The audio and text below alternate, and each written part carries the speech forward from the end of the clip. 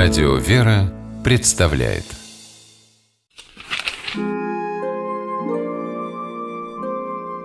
Сегодня, 1 августа, церковь вспоминает преподобную Макрину, преподобного Дия, обретение мощей преподобного Серафима Саровского, собор Курских святых, а также святого благоверного князя Романа Рязанского.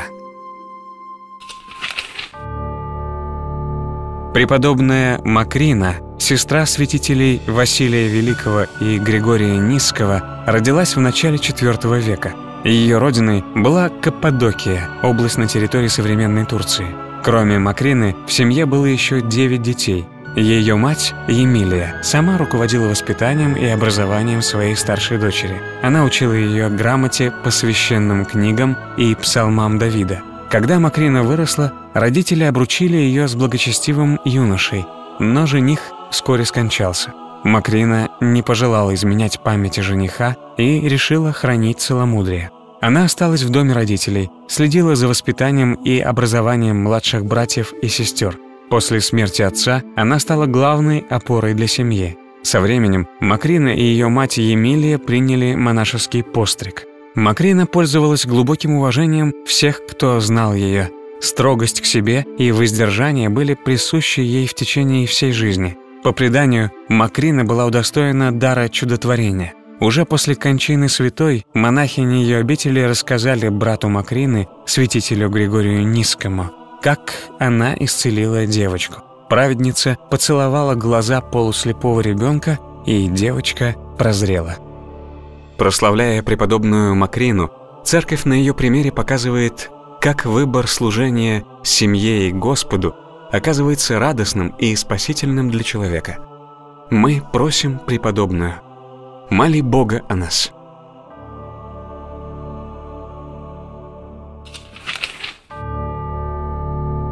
Преподобный Дий родился в Антиохии Сирийской в конце IV века в благочестивой христианской семье. Он рано избрал путь постничества и молитвы. Однажды Дию было видение, в котором Господь повелел отправиться в Константинополь и там служить ему и людям. По преданию, Дий пришел в уединенное место, помолился и воткнул свой жезл в землю – он попросил Господа дать жизнь сухому посоху, если Спасителю угодно видеть Дие здесь. И посох дал корни, начал расти и со временем превратился в огромный дуб. Окрестные жители стали приходить к праведнику за советом и наставлением, просили исцеления от душевных и телесных болезней. Дий молитвой врачевал недуги, а все пожертвованное раздавал нищим, странникам и больным. Молва об отшельнике дошла до императора Феодосия-младшего. Он пришел к Дию за благословением вместе с патриархом Константинопольским Аттиком. Император пожелал, чтобы на месте подвигов Дия был устроен монастырь. Святые церкви – наши помощники и предстатели перед Богом на протяжении всей нашей земной жизни. Молитвенное обращение к ним – потребность всякого христианина. Мы вспоминаем преподобного Дия – и просим Его, моли Бога о нас.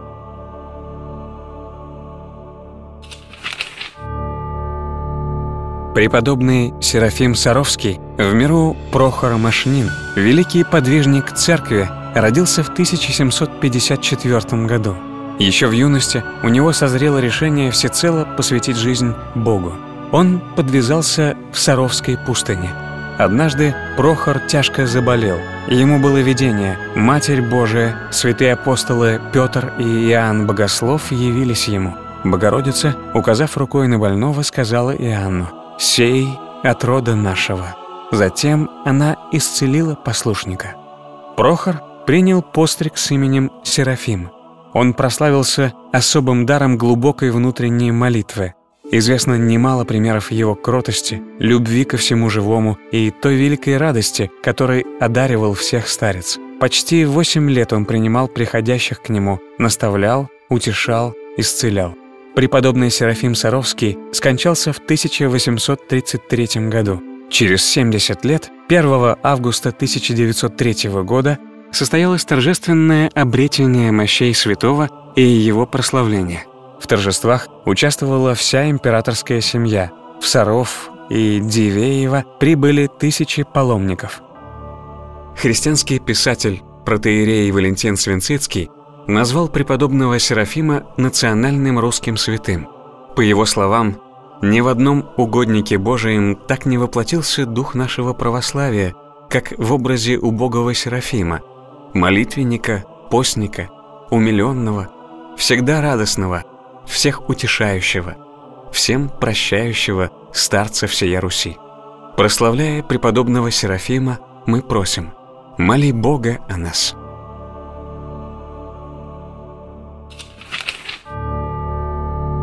Сегодня церковь чтит и вспоминает святых, чья земная жизнь и подвиг были связаны с Курской землей.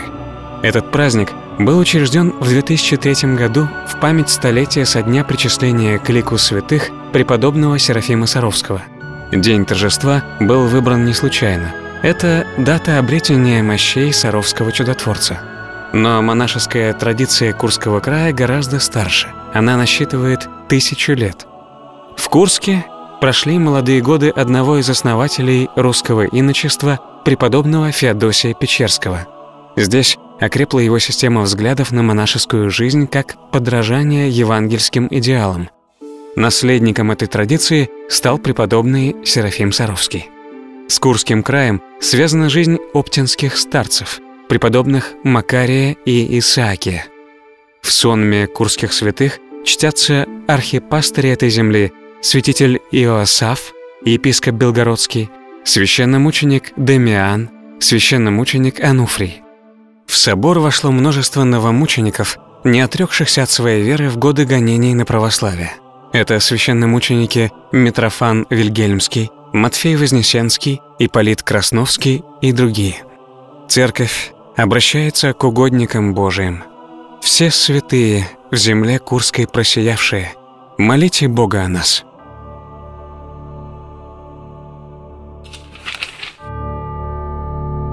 Святой благоверный князь Роман Рязанский жил в XIII веке. Он был из тех, кто во времена Золотоордынского ига прославился как защитник христианской веры и Отечества. Оба деда Романа Рязанского пали за отчизну в битве с Батыем. Сам князь получил хорошее христианское воспитание. Его вера была деятельной – Роман Рязанский всеми силами заботился о подданных, защищал их от насилия и грабежей баскаков, ханских сборщиков налогов. Баскаки возненавидели князя и оклеветали его перед ханом. Романа вызвали в Орду. Хан объявил, что он должен выбрать одно из двух – или мученическую смерть, или отречься от Христа. Князь отвечал, что христианин не может изменить истинную веру на ложную – за свою твердость в исповедании веры его подвергли жестоким истязаниям и казнили. Почитание князя-мученика началось сразу же после его смерти. Летопись говорит о святом «Купи себе страстью Царствие Небесное, и венец прият от руки Господней».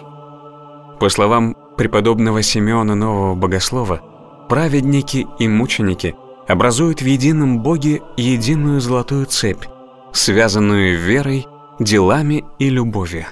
Прославляя благоверного князя-мученика, церковь просит «Святой Роман, моли Бога о нас».